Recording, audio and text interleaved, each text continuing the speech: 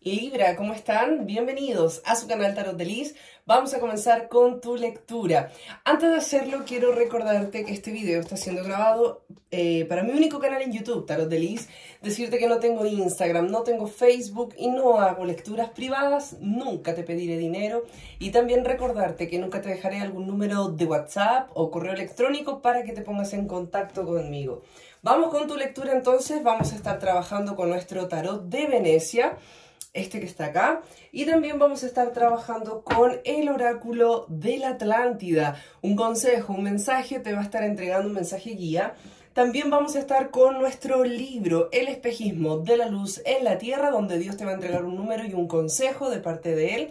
Y contarte que nuestro segundo libro, El profeta de Israel, más el espejismo de la luz en la tierra, ya está disponible en amazon.com en formato digital y en formato físico. Vamos ahora con eh, tu canalización Libra. Me acabo de recordar que la semana pasada tu canalización estuvo muy interesante, muy bonita. Así que vamos por otra canalización más para nuestros amigos y amigas de Libra.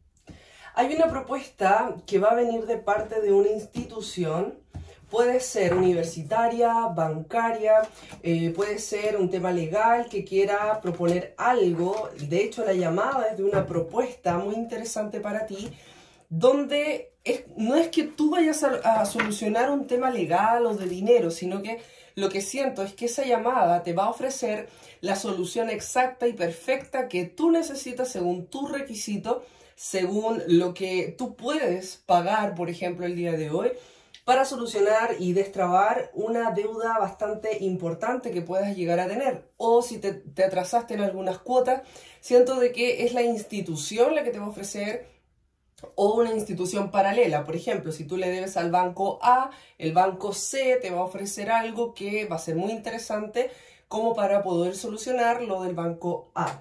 Algo así es lo que veo que es una solución financiera y económica a la que estaría llegando Em, para algunos signos, ahora le toca también a Libra, así que atento a esa llamada porque es una propuesta que te va a dejar pensando. Quizás la respuesta, por supuesto, no la vas a dar en el minuto, pero em, vas a pensarlo y siento que es un es más el beneficio que te otorga que eh, una forma que te pueda llegar a perjudicar, no lo siento tan así. Al contrario. Vamos con tu primera carta. ¡Wow! Tenemos acá el 10 de espadas. Algo ocurrió hace muy poquito, me dicen dentro de un mes. Para algunos, para algunos libras, por supuesto, ocurrió un hecho bastante lamentable. Aquí ya veo una pérdida en esta carta. Eh, si bien la carta habla del fin del dolor, siento que el fin del dolor tuvo que ver o tiene relación con la partida de una persona. Tiene que ver con, lamentablemente, con eh, el fallecimiento de un ser querido, de una amiga, amigo, de algún vecino, puede ser también algo que haya marcado en Libra un, eh, un episodio en su diario vivir que lo marcó, hizo una pausa. Ahora bien, si por estos días has ido extrañando mucho a un familiar que le tocó partir, hay una comunicación que va, a comenzar, va a iniciar una comunicación, pero no es ni hoy ni mañana.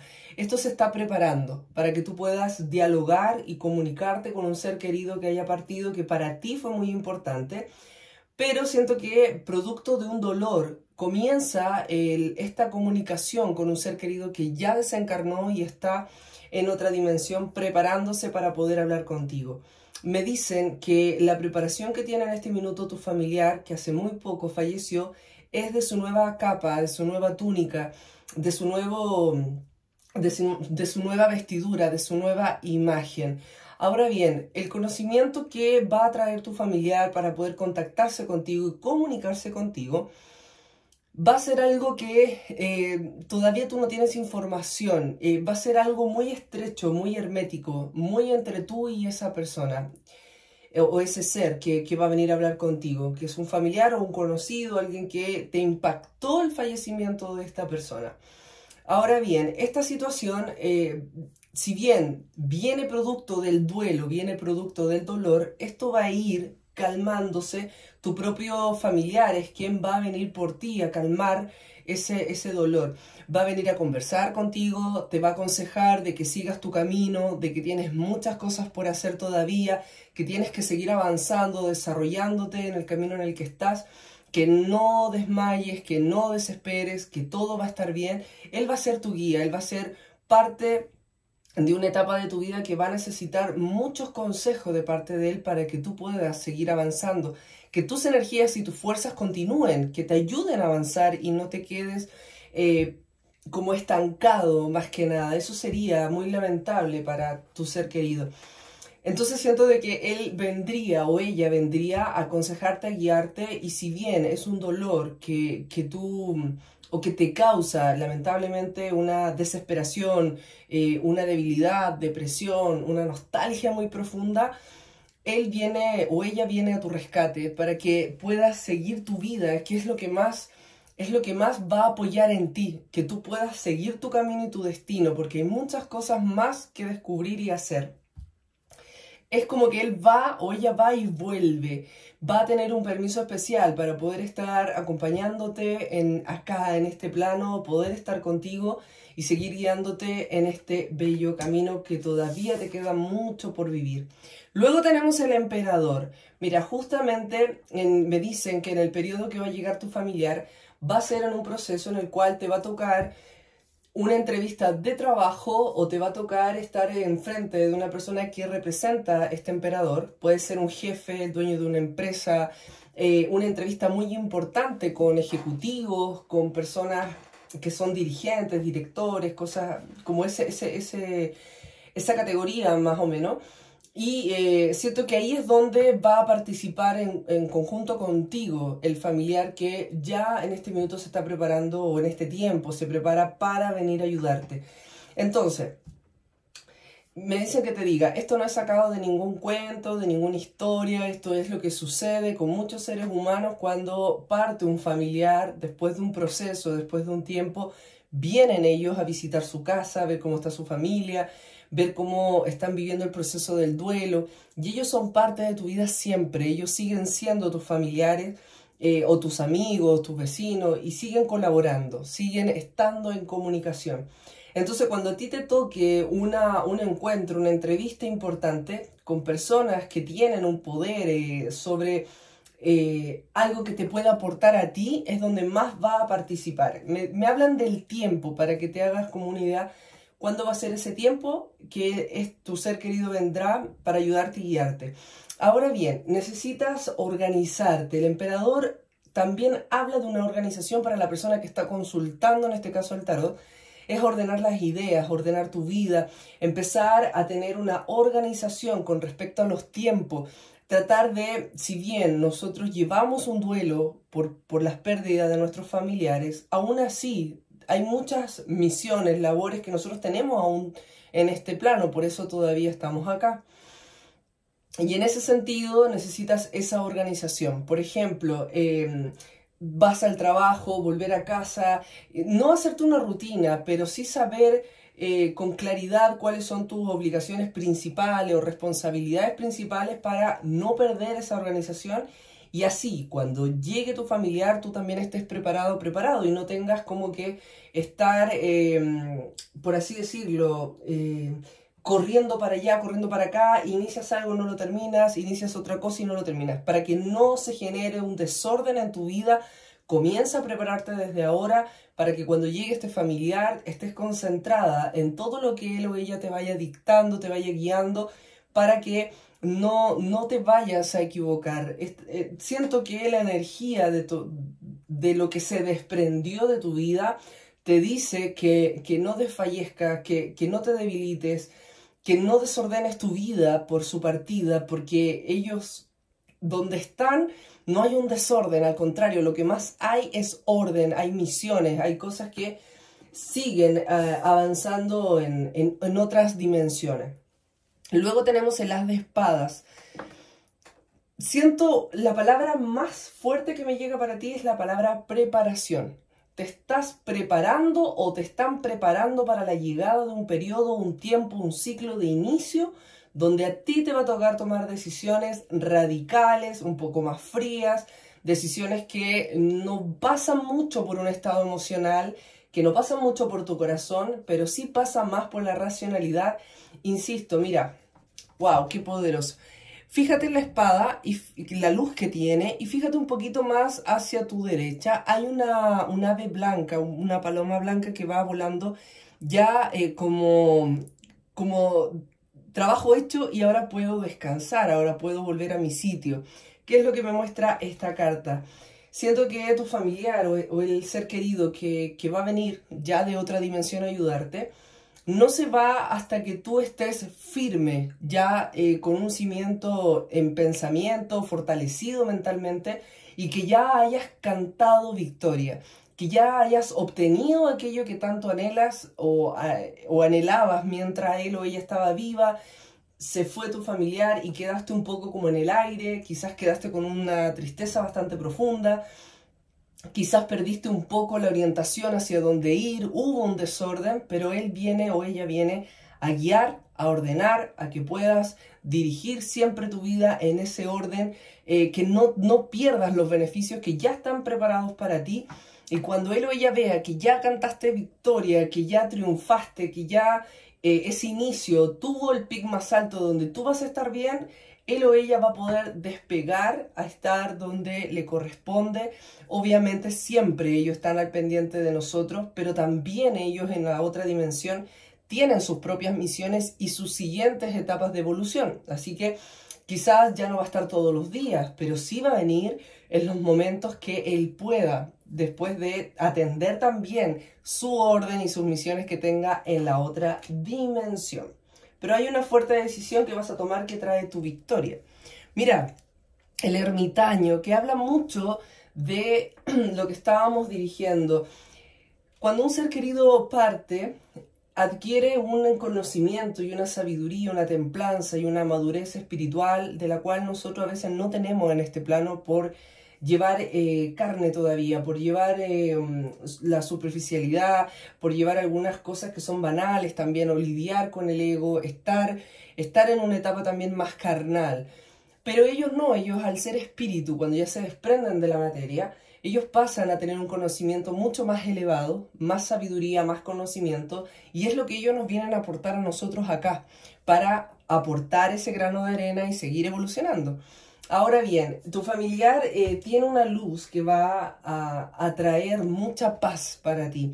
Paz que quizás hoy la necesitas con urgencia, pero si bien eh, hoy se está preparando todo para que él o ella pueda estar contigo, trata de rescatar tu propia luz interior, porque el ermitaño habla de el encontrarnos a nosotros mismos internamente y saber de que estamos hechos de una luz o que hay, hay una composición de luz dentro de nosotros de la cual tenemos que verla, trabajarla, seguir potenciándola, que es nuestra luz, es parte de nuestra energía vital, es parte también de, nuestra, de nuestra vida interna, de lo que estamos hechos y compuestos internamente.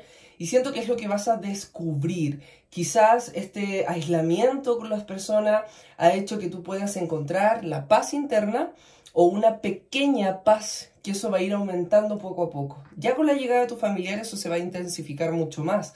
Saber y, saber reconocer cuando venga por un aroma, por eh, un viento, por, por una canalización que va a llegar, por una vibración, por el aroma que tenía tu familiar, como sea, tú vas a saber reconocer cuál es el punto de conexión con él o con ella. Va a ser un periodo bastante interesante y muy bonito lo que vas a comenzar a vivir. Y luego tenemos el 7 de oro.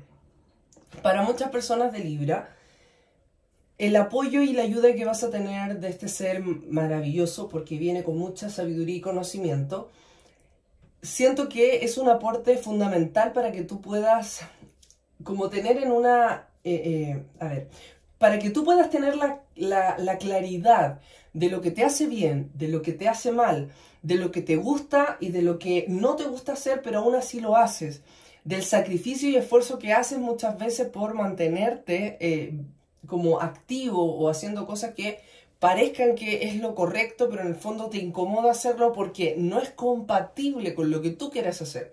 Por darte un ejemplo, que que por ahora te toque trabajar en un lugar donde no hay una conexión eh, positiva, porque en realidad no te gusta el trabajo y lo haces por una necesidad, y eso provoca que el ser humano no trabaje feliz. Por ende, todo lo que hagas lo vas a hacer por cumplir, lo vas a hacer quizás cada día más, con más pena, con más tristeza, con mala energía, malas ganas, porque no es lo que tú quieres. Entonces, cuando viene esta ayuda de otra dimensión, te empiezan a mostrar cuáles son tus dones, talentos y virtudes, facultades, para que puedas conectar con el trabajo adecuado, para que puedas conectar con lo que realmente potencia tu felicidad. Porque si tú eres feliz, vas a potenciar a otros, tus familiares, hijos, esposa, esposo, a que se contagien de tu felicidad. Pero si vas amargado al trabajo y no te gusta, luego llegas al trabajo con una doble amargura. Porque tienes que llegar con una cara de eh, tuve que ir a un lugar donde no me gusta ir, no me gusta estar, y aún así tengo que sonreír, aún así me esfuerzo por llevar la fiesta en paz, cuando en realidad estoy en un lugar donde no quiero estar. Muchas de esas cosas eh, son las que te va a enseñar tu familiar que ya, ya está en otra dimensión para poder aportar contigo la, la clarividencia, para poder aportar eh, la decodificación de ciertas vibraciones y energías que te van a llevar a estar en el lugar correcto, para ti y tu felicidad, y tu tranquilidad, por supuesto. Vamos ahora con la carta del oráculo de la Atlántida. Vamos a sacar un mensaje. Mira, los 12 chakras, potencial, wow, qué hermosa carta. Yo no sé si tú tienes Ah, contacto con piedras o te gustan las piedras en sí, piedras de río, eh, de, la naturaleza o las mismas piedras que nos da la naturaleza. No sé si te, te, te gusta buscar piedras cuando vas a la naturaleza de colores, de forma. Conecta con piedras, te va a hacer muy muy bien. Vas a tener una como con las piedras tú conectas, como que se, se potencia mucho más la clarividencia en ti. Vamos con el número 10, los 12, los 12 chakras potencial, se te recuerda que dispones de unos poderes espirituales y psicológicos enormes y sin explotar. Wow, relajándote profundamente puedes empezar a activar tus conocimientos celulares y, y atraer, y atraer de vuelta la sabiduría que poseías en la Atlántida. La recomendación que se te hace consiste en acceder a este potencial Encuentra tiempo y espacio para quedarte quieto y tranquilo, de modo que puedas recordar quién eres realmente. Relájate y sintoniza con tu potencial. ¡Wow! Qué maravillosa lectura. Vamos con el espejismo de la luz de la tierra y Dios te entrega el número 10. Vamos a ver qué te dice Dios. Recordarte que nuestros dos libros ya están disponibles en amazon.com si quieres tenerlo. Número 10. La noche desvelada. La noche espera tener una grata conversación contigo mismo, contigo misma. Arranca un poco de ese tiempo y espacio y hallarás la respuesta a tu cambio. El por qué o para qué ya será informado. Estrategias de cambios energéticos. Todo será informado y entendido. Solo espera. ¡Wow! Espera que llegue tu ser querido, amado, amada, para que pueda ayudarte a canalizar, a ver esta clarividencia potenciada que viene para ti. Espero que te haya gustado esta lectura y recordarte esta semana voy a estar trabajando con nuestro segundo libro, El Profeta de Israel, un mensaje muy revelador vamos a estar eh, compartiendo con toda nuestra, mm, nuestra familia de Tarot de Liz. Que esté muy bien, chao, chao.